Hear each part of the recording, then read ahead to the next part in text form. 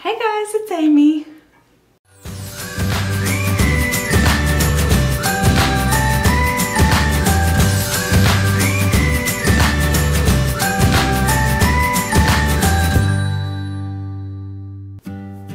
Hey guys, welcome to my channel. If you don't already know me, my name's Amy and today I'm going to be showing you how to make my favorite rice paper roll recipe. I've stuffed up rice paper rolls a million times in my life, but I've finally got the recipe down pat and I've got some really good tips and tricks for how to not break them and how to roll them up in a specific way so that they stick together perfectly. So I hope you like it. Let's get into it. The first thing you'll need are rice paper roll wrappers. You can buy them from almost any supermarket that has an international food section. The next thing you'll need are some raw vegetables of your choice. In my rice paper rolls or spring rolls, I personally like spinach, celery, carrots, parsley, bell peppers or capsicum, and tomatoes. The next ingredient you'll need is a good source of protein, so it's up to you whether you like turkey or maybe grilled chicken or my personal favourite, teriyaki flavoured tofu. I'm having the tofu and Paul's having the honey smoked turkey. Then you'll need to julienne your vegetables, so cut them into fairly long, thin strips like I'm doing here with the cucumber and the bell peppers or capsicum. I really like to use the different coloured peppers because they make the rice paper rolls look so vibrant and colourful once they're all wrapped up and ready to eat. The more coloured vegetables you can use, the more colourful and mouth-watering your rice paper rolls will end up looking. Then slice up the rest of your favourite vegetables and herbs to prepare them for the next step. My favourite type of tofu is a delicious teriyaki tofu that I bought from Trader Joe's earlier today, but you could really use any type of tofu you want, or any other type of meat if you want. So I just thinly sliced up the tofu so I can carefully arrange my ingredients in the rice paper roll wrappers. So I'll do that speedily here for you. And now that the ingredients are all cut up, we're nearly ready to start rolling up the rice paper rolls. So the best tip for preparing rice paper rolls is actually to prepare them over a damp cloth rather than a plate or a chopping board because it won't get stuck to the damp cloth. So remember that one.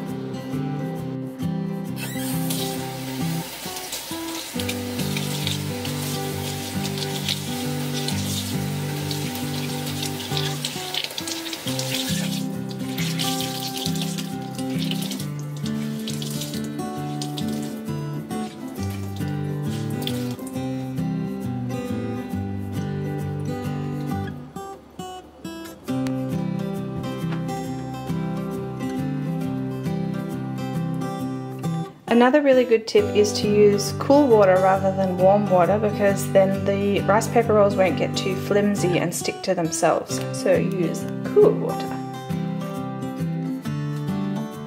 So you need to dip the rice paper roll into the water and make sure that every part of both sides is covered with water.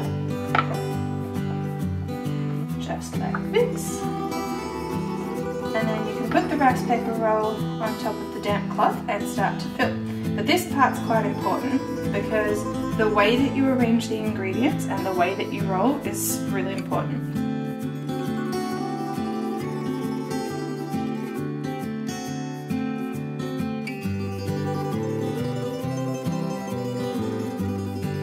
You see where I'm putting them down? It is about a third of the way up the rice paper roll, if you can see the edges of the rice paper roll here. So the way that you arrange them is quite.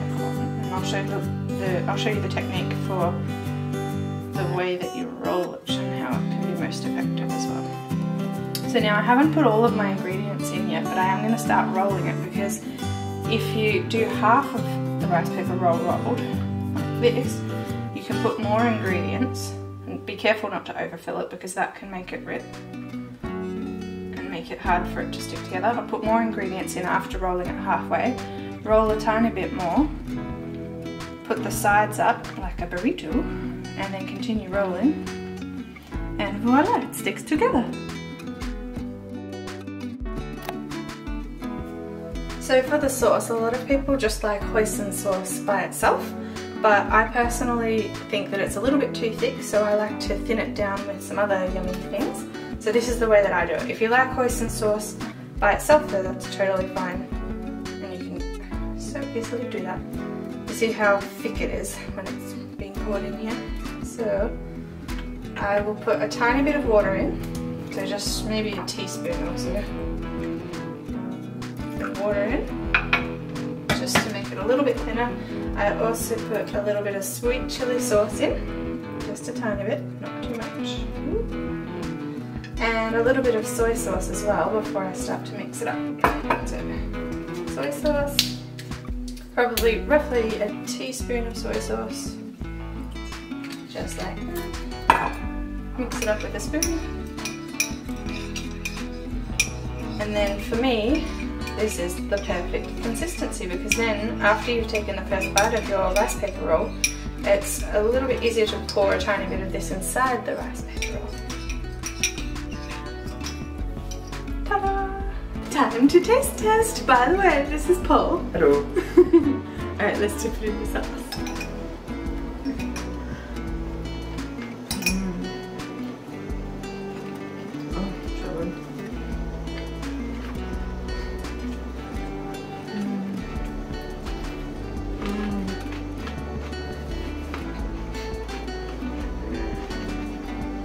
Mm. Tastes good.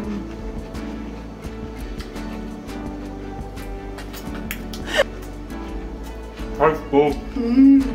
Mm. Ta-da!